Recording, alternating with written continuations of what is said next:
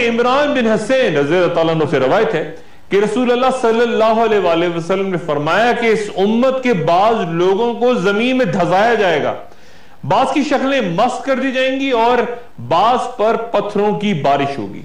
मुसलमानों में से एक शख्स ने सवाल किया कि, या रसूल ये चीज़ें कब वाक़ होंगी?